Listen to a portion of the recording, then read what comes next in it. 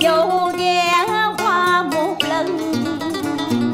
nghe dân dương tâm buồn